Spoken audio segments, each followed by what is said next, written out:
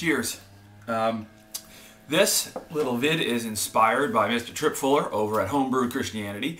He had sent me an email and said, Hey, Cal, take a listen to this. Think you might be interested. And Tripp, I was interested. The thing he sent me was a podcast from the folks over at The Christian Humanist. And so, thanks, you folks. Uh, if you haven't heard for The Christian Humanists, I've got links down below uh, at theimageoffish.com in this posting. Now, what has happened uh, is that it has inspired me. You guys are my inspiration. You are my muses, Christian, Christian Humanist folks.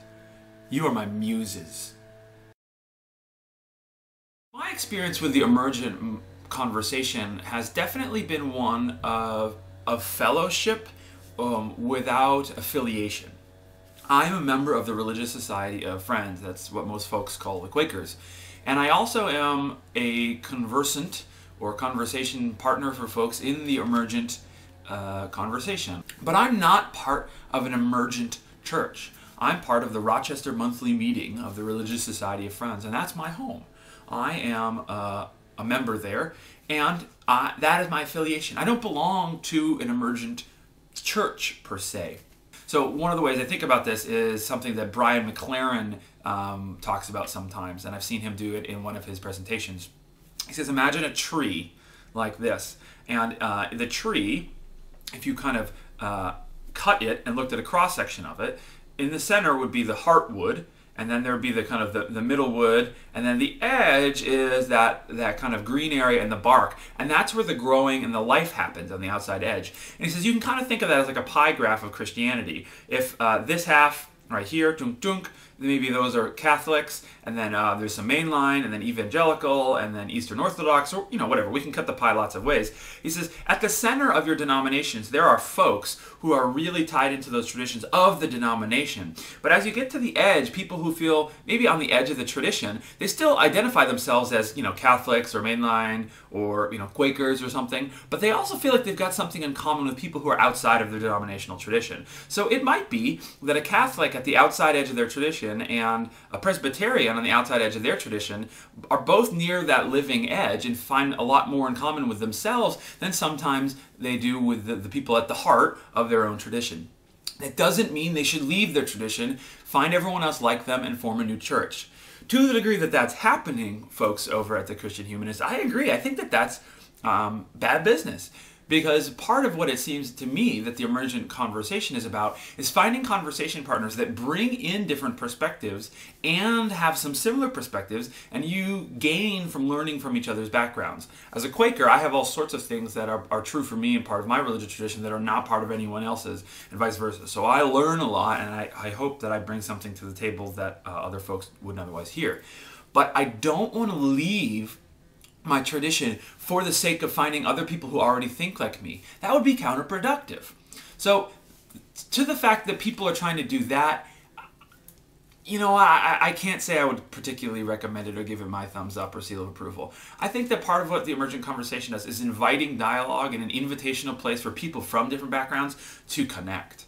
Uh, and to the degree it's doing that, good. Uh, to the degree it's making people uh, leave their homes and connect to other folks so that they can feel more comfortable and like everyone likes them, eh, that might be getting a little squishy for me the, the folks on the podcast were saying, you know, uh, that's great to be open and interested in dialogue, but at some point in time, you got to have a theological stance. And they made this comment, I'm paraphrasing, that if you look at church history, you know, people like Luther and people like Calvin and, you know, part of the creedal stuff in Nicene, people came down, and even though they might have been open for conversation, at some point in time, they said what it was they believed.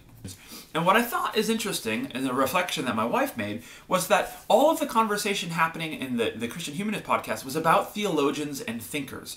And so, of course, it is the case that over the course of Christian history, those theologians and thinkers would come down and make a make a commitment and say, "This is the theology." It seems to me that part of the thrust of this emerging thought is that the primary goal has to be about living your life in such a way that it reflects Christian values concretely, and that on the edges of that, theology are addressed because theology is part and parcel of how we live our lives. And theologians and philosophers for most of Christian history have done that the other way around. They've written some very smart folks in a way that was um, kind of incisive and clear, but they've mostly been focused on theology prior to praxis, actually living it out. And so while I hear you guys saying, uh, the, the, Christian humanist guys, you know, uh, I really wish the emergent folks would come down on something, I, I wonder about that because it seems to me from what I've heard, uh, that what people are interested in is living out those lives and working out theology as a part of living it. And so that might mean that the, the theology is delayed as you start to get your house in order. Maybe it will be the case that eventually folks who identify as emergent will have theological statements. Um, I'm not sure.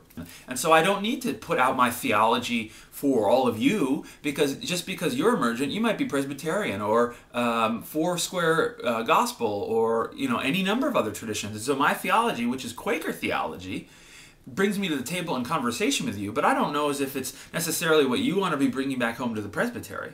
And if it is, well, then we'll get there. But I don't think uh, an emergent theology as such is what's called for because we're supposed to be at the table talking to each other, not telling each other what it is that we're supposed to think and believe. That's just my thought. I don't care what the group is, whether it is a neo-Calvinist or it's an emergent folk or um, more mainline tradition. Exclusion, it seems to me, has too often been part of what the Christian path has been about. You're part of the cool table or not. You're saved or you're not. And the way we know you're saved or we not is because of our human judgment. Uh, I am not saying everything goes and that everything can be willy-nilly laissez-faire, but too often we have made our human judgment be um, equated to the divine judgment. And I don't think that that's our job or our place. And we don't get anywhere other than exclusion when we do that. So here's just a thought. In the podcast uh, for the Christian Humanists, uh, about minute 45, they started talking about hipness and coolness and how they really had a problem with how cool the emergent church seemed to be. And somewhere along the line, um, this line, down with cool pastors, uh, a pastor should not be allowed to be cool was said. And I think it was done in jest, so I don't want to take it too seriously. But I think there's an underpinning there that I want to um, tease out a little bit. To the degree that coolness or hipness or you know whatever it is becomes exclusionary, uh, I agree with you guys completely. Stop it. So if if coolness and hipness is that you have to be this hip to come to this church, get out. Homo, let's stop. We don't want to be doing that. But the response that you guys had was just to say, down with cool pastors, and we can't have a pastor be cool, uh, also um, rubbed me the wrong way. It's possible. Now, if people are performing to try and make their church cool because that's how they are, and they want their church to be cool because it's one of these exclusive churches that you have to be cool to be in, I do have a problem with cool pastors. But I think it's possible, um, maybe not likely, but it's possible that there are people out there who who are hip uh, and there's nothing wrong with that. So my emphasis wouldn't be against cool pastors or against cool churches. It would be against people who are building artificial walls where the kingdom of God wants us to be united, like you said, uh, you know, with no Jew or Gentile or master or slave. So I don't like building up these us them kinds of things, and I do it too. I absolutely do it too, and it, it's part of my fail, fallibility as a human. But I think to the degree that we can say, you know, coolness isn't the problem, exclusionary coolness is, uh, I would feel much more comfortable with that. I tend to think of emergent thought as a toolkit, not a home.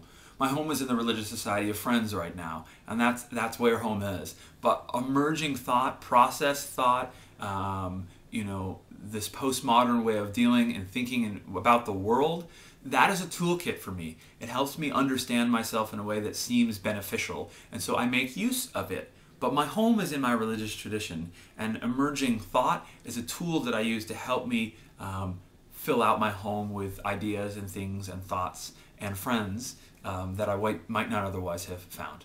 So that's my two cents. I'd be interested in hearing any comments about any piece of this, and uh, I hope you guys have a good Thanksgiving if you practice eating turkey.